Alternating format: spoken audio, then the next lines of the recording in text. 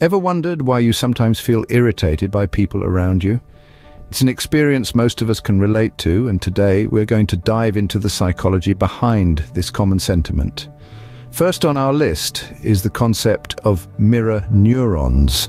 These are cells in our brain that fire not only when we perform an action, but also when we observe someone else perform that action. They essentially cause us to mimic the emotions or behaviors of others. So, if you're around someone who is constantly negative or irritable, your mirror neurons can cause you to feel the same way. The second reason is differences in values. People tend to gravitate towards others who share their values.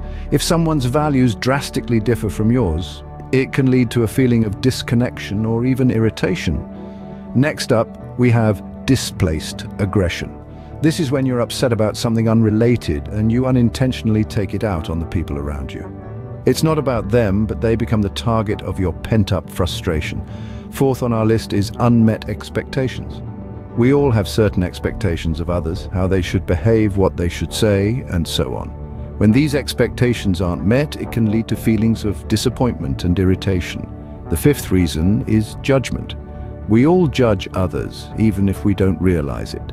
And when we judge, we're more likely to feel negative emotions towards those we're judging. Next, we have lack of empathy. Empathy allows us to understand and share the feelings of others. Without it, we're more likely to feel annoyed or frustrated with people because we can't understand their perspective. And finally, the seventh reason is lack of self-awareness.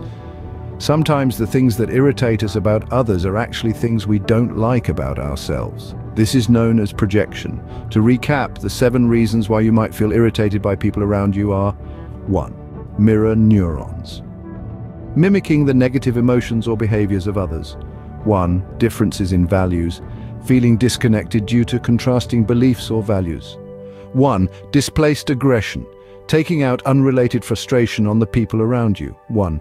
Unmet expectations. Feeling disappointed when others don't meet your expectations. 1. Judgment. Feeling negative emotions towards those you judge. 1. Lack of empathy. Being unable to understand others' perspectives. 1. Lack of self-awareness. Projecting your own dislike traits onto others. Understanding these reasons can help you navigate your feelings and improve your relationships with others. Remember to subscribe to our channel for more insightful content. Thanks for tuning in, and until next time, keep exploring the fascinating world of psychology.